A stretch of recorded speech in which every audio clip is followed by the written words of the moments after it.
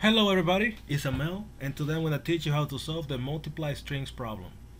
Given two non-negative integers num1 and num2 represented as strings, return the product of num1 and num2 also represented as a string. Example 1, the input num1 equals 2, num2 equals 3. The output is 6 as a string because 2 times 3 is 6.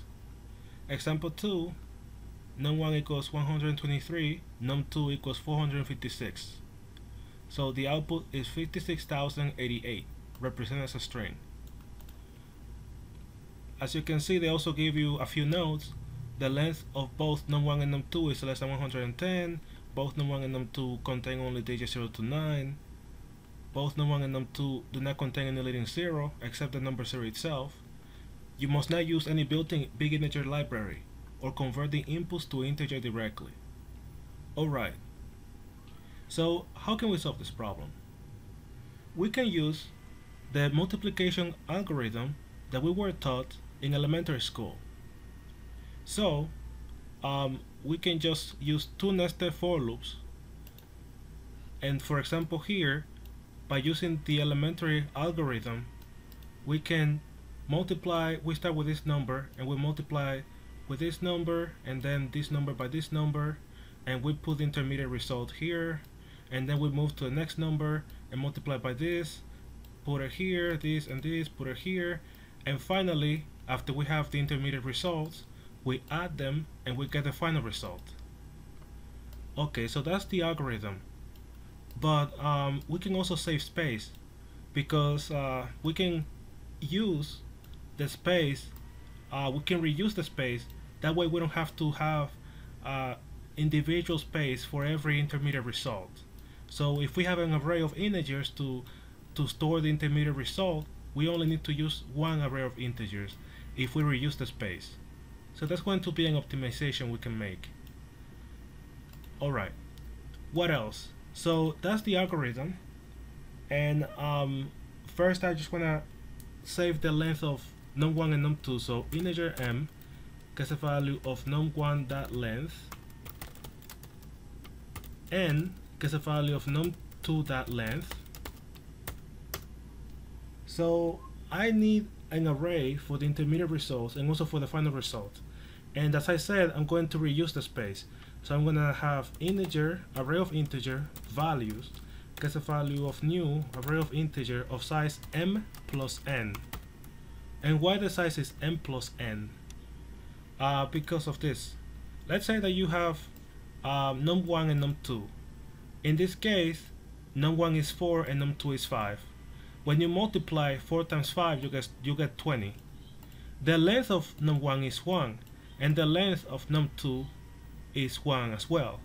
So the length of the result is m plus n, or 1 plus 1. As you can see, 2. The result has two digits. So in general, when you multiply two numbers, the result is gonna have is gonna take n plus n digits. It's going that's the number of digits of the result. So that's why I know that the result is gonna have n plus n digits. So that's why the the length of this array or the size is n plus n. So now, as I said, I'm gonna use the elementary school multiplication algorithm, and I need two nested loops for that. So I'm gonna start from right to left for integer i gets a value of m minus 1, i is greater than or equal to 0, minus minus i. For integer j gets a value of m minus 1, j is greater than or equal to 0, minus minus j.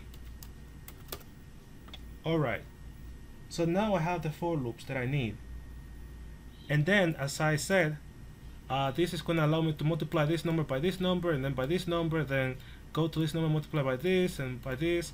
So I'm going to multiply the corresponding numbers. So I'm going to say integer multiplication gets a value of num1 that char at i minus 0 as I said before in a previous video uh, I have to subtract the character 0 from this character here because of the ASCII table. That way I'm going to get a corresponding integer. And then I multiply by num2 that char at j minus the character 0, right? To convert to an integer because of the ASCII table. Then, once I have the multiplication, this is just the corresponding multiplication, first this with this, and then this with this, and then this with this, and this with this. Alright, so once I have this multiplication, I want to um, I want to add I want to add it to the corresponding to whatever is in my values array at the corresponding position because I want to save space so I'm gonna say integer the sum gets a value of vals so i plus j plus 1 plus the multiplication alright so how did I get i plus j plus 1 how do I know that I have to add this number, a position i plus j plus 1 plus the multiplication to get the sum? Well, because of this.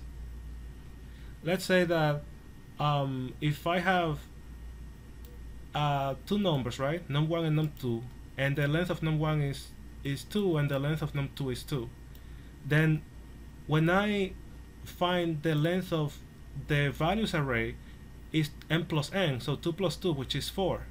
So let's say the last element is a position of 3 because the array is 0 index.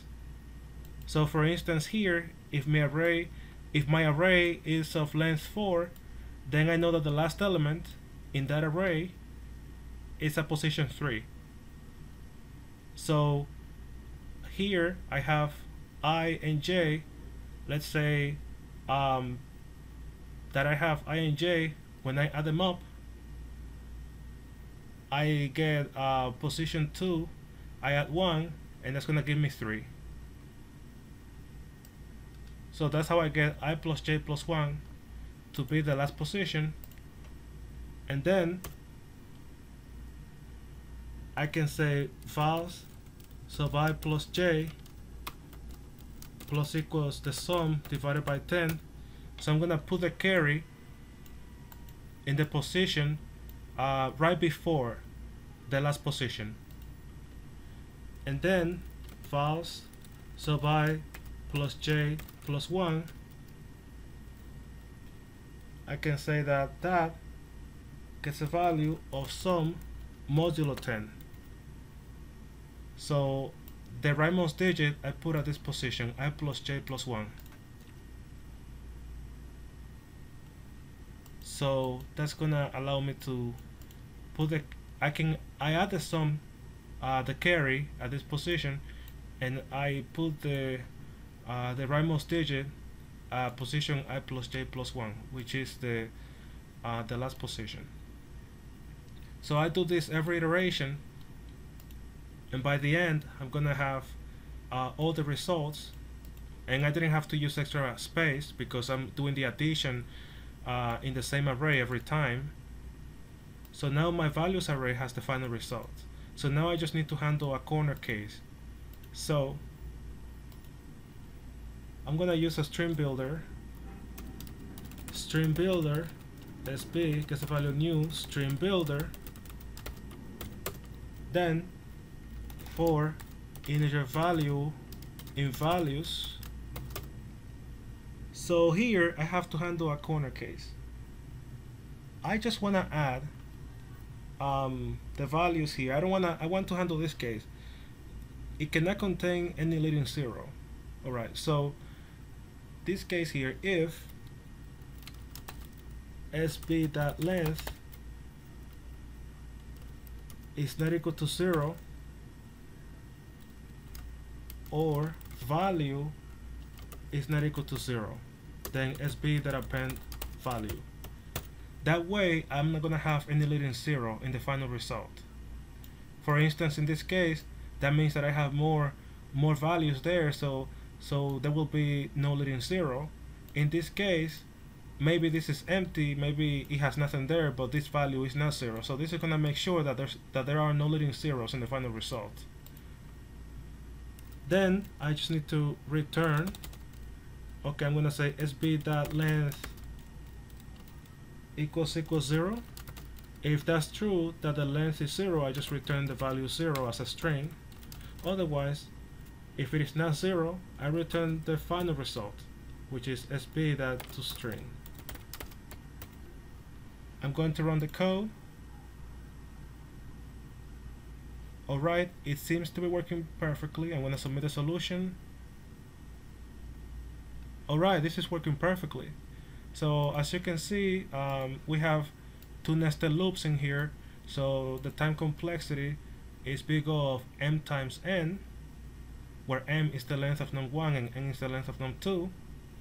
If you like the video, please press the like button. Don't forget to subscribe and see you next time.